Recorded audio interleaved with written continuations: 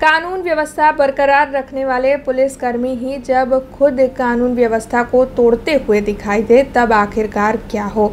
ये सवाल सावली की इस खबर के बाद काफ़ी ज़्यादा उठ रहा है। दरअसल सावली में पीएसआई रिश्वत लेते हुए रंगे हाथों पकड़े गए हैं। सावली के पीएसआई डीएम वासदिया जो शराब की गाड़ी पकड़ी जाने के बाद पुराने मालिक से पैंतीस हज़ार रुपये रिश्वत की मांग कर रहे थे।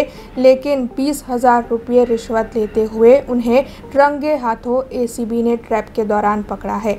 एसीबी ने इस वक्त पीएसआई की गिरफ्तारी कर पंचनामा कर आगे की कार्रवाई शुरू की है, लेकिन इस मामले के सामने आने के बाद पुलिस पर कई सवाल उठ रहे हैं। अब खबरों से लगातार अपडेट रहना हुआ आसान।